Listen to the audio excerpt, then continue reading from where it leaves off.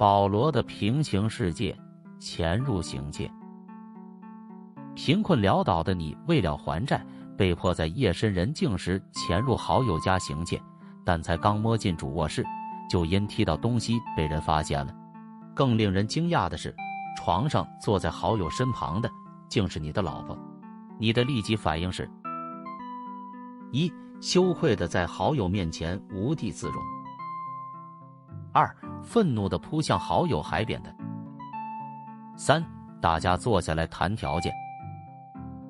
四无动于衷，各取所需。